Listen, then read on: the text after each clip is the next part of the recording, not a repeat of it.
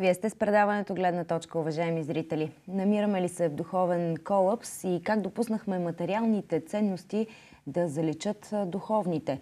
По тази тема ще си говорим днес с моя събеседник в студиото Ивайло Тинчев, създател на Националната асоциация Поход за семейството, инициатор на множество събития, свързани с нея. Здравейте! Здравейте! Светът живее в епохата на повърхностното, а християните трябва да преоткрият важността на сърцето. Това пише Папа Франциск в последната енциклика, части от които се появиха преди дни. Кое наложи този акцент в посланията на католическата църква, господин Тинчев? Първо ще започна с това, че аз не съм католик, но въпреки това проявявам голям интерес към темата за християнството по принцип, тъй като нашата организация и всички организации, които работим за семейните ценности и добродетели, уповаваме и поставяме основата си върху християнство и неговите ценности. Причината да се появи тази енциклика, така наречена, или това е писмо към епископите на католическата църква, което разбира се има отзвуки в самата католическа църква и християнския свят като цяло, е, че все повече материалното наистина започва да взема превес, то не е от сега, от много време назад, още от преди социалистическия строй в България и и дори бих казал няколко века назад, започва да взема превес и духовното постоянно се измества до положение, когато духовното вече не представлява интерес за хората. Тоест, техният живот е съсредоточен само и единствено върху преследване на материални цели. Това е ясно изразено днес, така ли? Според папата, да. И според върху това, което аз виждам в обществото също много силно се изразява. Много хора, единствената им мечта е да постигнат материално благополучие и да живеят щастлив живот, в който не се интересуват от никой друг и от нищо друго, само себе си.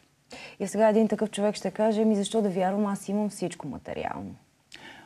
Материалното е добро. Няма нищо лошо в това да притежаваме материални неща, особено в съвремието, когато имаме много удобства перални, телевизори да се информираме, печки, за да си изготвим яденето и така нататък. Няма нищо лошо в това. Проблемът е, когато а, ние не осъзнаваме, че нашия живот, за да бъде по някакъв начин осмислен, ние трябва да се обърнем към а, вътрешността, към своята същност. И това е всъщност сърцето на човека. Според библейските и християнските догми, или това, което разбира християнството, човекът се състои от дух, душа и тяло. Духът е това, което Бог е вложил в нас, за да бъдем ние хора, да можем да имаме морални някакви насоки, какво е добро, какво е зло. Душата се състои от нашия ум, нашите емоции, чувства, нашата воля да вземаме решения. И тялото е място, където духът и душата на практика съществуват. Това е което християнството вярва. Каква е причината ние да искаме да има нещо и духовно, и душевно, най-вече духовно, тъй като то е връзката на християните с Бога? Причината е защото в сърцето на човека, там в тази дълбочина, са всички мотиви, всички най-важни неща за човешкия живот. Ние познаваме, например, в историята много хора, които са били велики учени, но те са били зли гении. Тоест, те са извършвали с науката, с това, което, което разбират за науката, нещо лошо, нещо зло. И нямало е какво да ги спре, освен ако не е те да имат някаква духовна причина да бъдат спрени да вършат това зло. Знаем доктор Менгеле и различни други случаи. Има, има различни случаи в историята. Също така имаме много богати хора в историята, които богатството само по себе си не е нещо лошо. Хубаво е човек да има богатство, да може да помага на другите хора, да може да развива бизнес, да използва талантите си дарбите си. Но от друга страна, има хора, които използват богатството си, за да вършат злини с него. И затова този коректор на, на сърцето или това, което от духа ни влиза в нашето най-дълбоко естество като човешки същества, е важен за християните и за всички хора, които вярват в тези ценности. Аз ви връщам на документа, защото той е много по-различен от останалите енциклики, които до сега са излизали. Тази е четвърта, ако не се лъжа, откакто Папа Франциск е на престола на католическата църква. Предишните бяха свързани с COVID-пандемията, с економически фактори, с войни, с други последствия. Тук обаче тези фактори ги има, обаче са оставени на заден план. Защо при положение, че има толкова много войни, има толкова много бедствия, има толкова много събития, които биха могли да, да се отбележат? Тъй като тази енциклика е съсредоточена върху сърцето на Христос, така нареченото пресвето сърце или, или свещено сърце на Христос, това е един символ в католическата църква, който идва от 17 век. Той не е много стар в една от енориите в католическата църква една жена сънува или вижда видение, не съм сигурен точно как се случва, но това става през 17 век. Едно, Исус си показва своето сърце, всъщност. И, и, и вътре тя вижда любовта на Христос, всички а, добри неща, състраданието му, желанието му да, на хората да се помогне, на бедните и така нататък. И това, което, което е причината сега да се обръщаме, всъщност е да удариме сърца, сърцето, сърцевината на проблема. Сърцевината на проблема е сърцето на човека. Това е. Сърцето на човека е нещо, което е неизследимо. Библията казва, че оттам произлизат всички добри и лоши неща. Това е тази дълбока същност, когато останем сами със себе си и познаваме сами себе си може би другите ни виждат в някаква светлина в нашата работа, в училището, някои сме ученици, в някакво друго място, в обществената ни среда, но сами със себе си ние знаем какво има в сърцето ни. По някои дори ние не познаваме добре сърцето си, разбира се, и затова се казва, че Бог е сърцеведец или Той е този, който изследва и издълбава от сърцето каквото има, за да ни го представи на нас. И това става обикновено според християните чрез Библията. Когато ние четем Божието Слово, ние намираме неща, които са в нашия живот, които не са наред, които не са правилни морално. И по този начин имаме възможност да коригираме сърцето си. Тоест, а, така Бог ни разкрива чрез Словото си кое е добро и кое е зло. Ако ние нямаме някакъв такъв морален компас, ние можем да смятаме, че всяко нещо, което ни прави щастливи, е добро което е масово днес в съвременното общество, а се оказва, че всъщност не всяко нещо, което ни прави щастливи, може да е добро за всички. Тоест, ние може да се чувстваме добре, но да страдат много други хора заради това, което правим. И това е центъра на посланието на тази е, енциклика. Е, мисля, че е много на време и много добре подреден документ. Той е около 50 страници. Аз имах удоволствието да го прочета в ситен текст сравнително. А, може и да е повече в по-голям текст.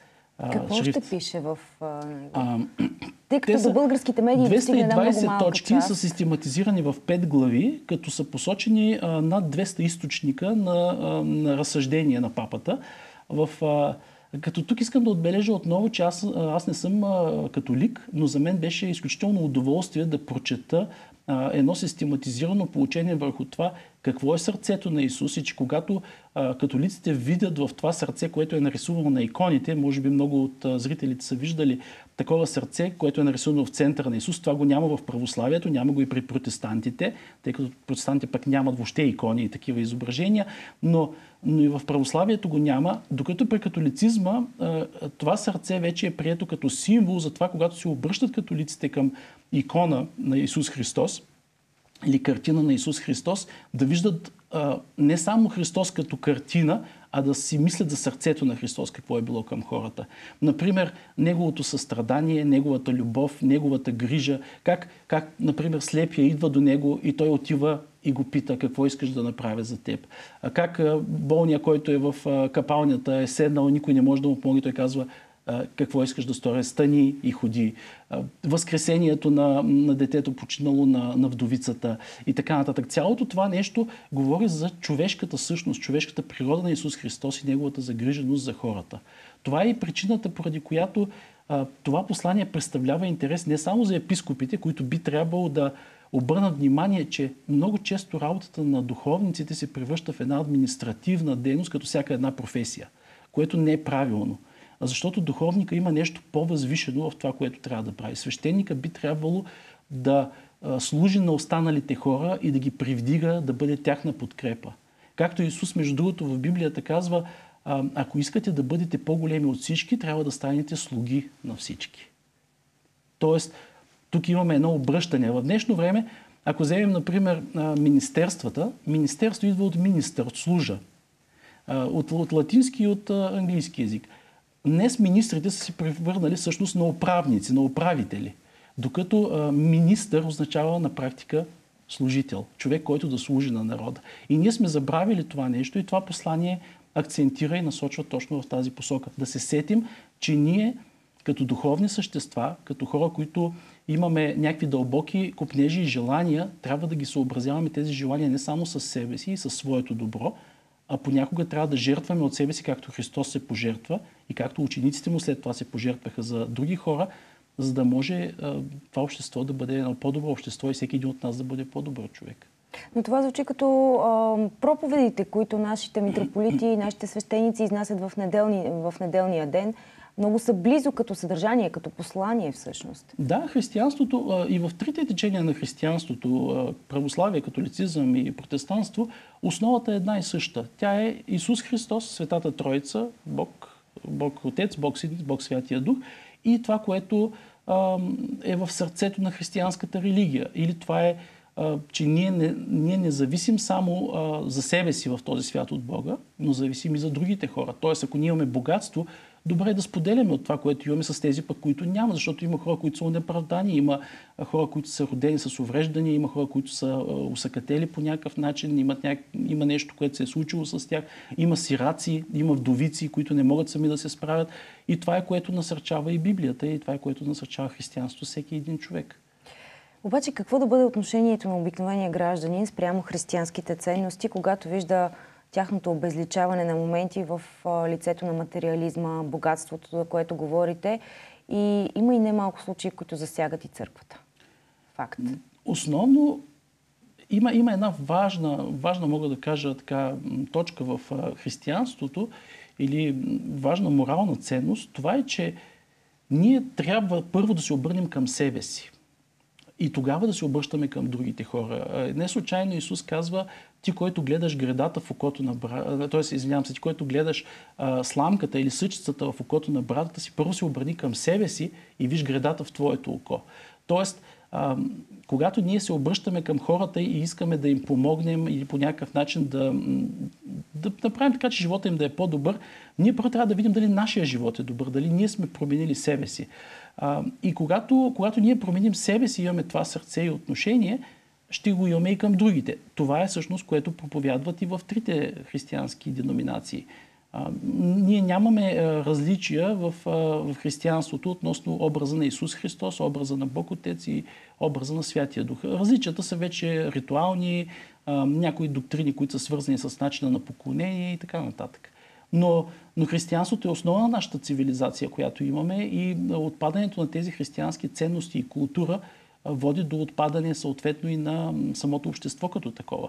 Защото ако погледнем в Римската империя, ако се върнем назад, християните са били тези, които са започнали да спасяват например, бебетата на римляните, които са ги изхвърляли, когато не са им били нужни. Понякога, когато римляните са нямали храна или са нямали, имали са някакво ограничение на ресурсите, или детето е било увредено, или а, много е плачало, те са си преценявали кога те са можели да изоставят детето си и да го изхвърлят. А, и, и християните са били тези, които са спасявали такива слаби, невинни деца и са ги, а, и, и са ги отглеждали. Тук, тук идва сърцето, сърцето на Христос, което се проявява в живота на тези християни, последователи на Христос. Тогава, тогава църквата не е била разделена на различни течения, църквата е била само една и съответно тя е правила това нещо като отговор на Христовата любов към а, хората. По-скоро въпросът ми беше свързан с а, материалното изражение на църквата и това, което виждаме като материални облаги у някои от митрополитите. Сега да. знаем случая с а, Пловдивския митрополит Николай, има да. и други а, такива. Отблъсква ли, отблъсква ли това нещо хората от религията и от вярата? Не познавам живота на тези хора, за които става дума. Личният им живот. В смисъл, не ги Говоря по публикации да. от медиите, това, което се виждаше това, което, с това, което очакват хората от духовните лица, може да е прекалено понякога. Не е задължително един човек, който е духовен, да бъде аскетичен. Тоест да не може да има кола, да не може да има часовник, да не може да има каквото и да било. Въпросът е в какво общество живее този човек и как го гледат другите хора. Защото нека да бъдем наясно. Тези хора имат нужда да пътуват, те имат подаръци, които някой им е подарил, те няма да ги изхвърлят, защото уважават този човек. Нали? И така нататък. Аз не знам, може би часовника на този духовник е подарен златен часовник от някого, който много го уважава и е искал да му направи нещо добро. Просто не знам мотивите, по, по каква причина тези хора живеят по този начин. Но ако, но ако погледнем от християнска гледна точка, ако това е нещо към което те се стремят, това е проблем. Ако, ако един свещеник взема пари за това, че извършва кръщение на детето или че има сватба ритуал и така нататък, едва ли това е голям проблем. Но ако той прави това за да спечели парите, а не го прави защото а, защото искат двойката да се венчае, защото искат бебето да е благословено, да бъде християнин и така нататък. Тогава вече ценностите са обърнати и този свещеник е започнал да се съобразява с настоящия свят и неговите ценности, което е проблем. Трябва ли Българската православна църква да бъде по-активна по отношение на светските въпроси и закони? Гледайки каква е активността на останалите вероисповедания, които са в християнството, католиците, както виждаме, с такива по-дълги изявления, които имат и, и протестантите, които имат, доста активна мисионерска дейност. И, и, и въобще, като цяло в света, католиците и протестантите като, като количество, като брой хора са много повече нали, това е факт. Православието като, като църква е по-малко като брой. Въпреки, че заема, ако заема Русия, заема вече голяма територия, тъй като все пак Русия е доста голяма държава като територия. А, но трябва ли, а, трябва ли да бъде по-активна? Разбира се, че трябва да бъде по-активна. Мене, ако питате, а, всеки един трябва да бъде по-активен. Всяка една част от християнската религия трябва да бъде активна. Защото а, ако ние сме пасивни, ако ние не споделяме тези ценности и разбирания като християни, които имаме, аз не бих казал само свещениците, бих казал и миряните, нали? хората, които са обикновените, хора, които ходят всяка седмица на служба, които ходят да се причастяват, които ходят да, по някакъв начин на, на обучение някакви или неща свързани с вярата. Всеки един трябва да бъде активен, защото това е начинът по който ние можем да разпространяваме нашите ценности и морал и, да, и те да променят, да трансформират нашето общество. Често в отговора защо стигнахме до тук, да не сме толкова религиозни, опираме до един социалистически период, в който сме живели. Всъщност, дали атеистичната политика по времето на социализма още е с остатъчно влияние в обществото ни или днес невярването се обославя от други фактори? Със сигурност, със сигурност социализма има много силно влияние върху, да кажем, религиозната страна на нашето общество. Ценностите, които, които християнството дава преди социализма, обаче започват да избледняват още преди това. Още след освобождението, още след първата българска конституция, нали, след като се оформят различни виждания за това как трябва да бъде управляна държавата, ние знаем, че има, има доста силно християнско влияние и в царство България, и въобще върху, върху населението, но, но това влияние започва да отслабва под натиска на, на това светско влияние, което е от, в целия свят започва, в, в цяла Европа. И аз не бих обвинил някого или не бих казал, че пряко социализма е виновен, въпреки че той е, носи голямата вина. Не е само социализма. Виждаме държави на Запад, на Изток, които никога не са били в социализъм, но там състоянието на християнство не е по-добро в много отношения, даже може на някои места да е и по-зле. Така че, да, социализма оказва огромно влияние. Той забранява религията в училищата, той забранява религията като масово явление, забранява на много хора да ходят на служби, за да служат на, на Бога с а, техните разбирания религиозни. Но но нека да сме наясно, че това зависи вече и от отделните хора. Защото ако всеки един от нас се стреми от това да забогатее, да, да кажем, да бъде по-велик от другите, да прави кариера и така нататък, и мачка други по пътя си и, и, и успява по този начин, и ясно е, че тук не става дума само за един режим, а става дума за цялостния материалистичен поглед или желание да успеем в този живот, защото друг живот няма. А обратим ли този процес? Как всъщност да се върнем към духовното, когато светът е все по-материален? Аз бих казал, че е обратим и, и, и ще кажа защо. Защото по времето, когато Христос се появява на сцената, когато Той идва на земята, според християнството, нещата са не по-добри. Както в Римската империя, така и в Гърция, така и в, говорим за познатия свят тогава, така и на много други места. Християнството променя изцяло света. 12 човека, които следват Исус Христос, плюс още, да кажем, 70 ученици, първите ученици на Исус Христос, те преобразяват изцяло света. Но тук е въпроса, който може да се зададем, защо тези хора преобразяват света. Защото те първо позволяват на Божието Слово, на Святия Дух, на християнство да промени самите тях. Не можем да изискваме от а, нашето общество да бъде променено, ако самите ние не сме се променили като личности. Имаше една такава история, когато един, един свещеник казал, аз, аз с времето исках да променя света, обаче не, не успях да го променя. След това се опитах да променя града си, не успях да го променя. След това се опитах да променя семейството си, не успях да го променя. накрая се опитах да променя себе си. Разбрах, че е много трудно, обаче разбрах, че ако бях започнал от себе си, щях да променя и семейството си, и обществото си, и света. Това ли е начина? Как да накараме един човек да влезе в църквата, не само на повод? Много е трудно, ако, ако няма жива вяра, това, кое, за което пише и в тази енциклика и това, което, което тя представя. Ако, ако ние мислим само за материалното, ако мислим само за нещата, които са за този свят, Библията казва, ние сме повече, за съжаление, от всички хора. Дори, дори да сме християни, ако ние мислим само за ежедневието за храната си, за успеха си, ние сме за съжаление, защото има вечни стоености и вечни неща, които според християнство и според това, което аз вярвам като християнин, ще останат за вечността. И те ще останат извън а, душата, извън а, тялото, като душа и дух, като нещо, което а, няма да е материално, но то ще остане за вечността. Много интересен разговор. Ще го продължим друг път. Благодаря ви днес за това участие. Ивайло Тинчев, председател на Национална асоциация Поход за семейството. Така се разделяме. Останете с програмата на телевизия СКАТ.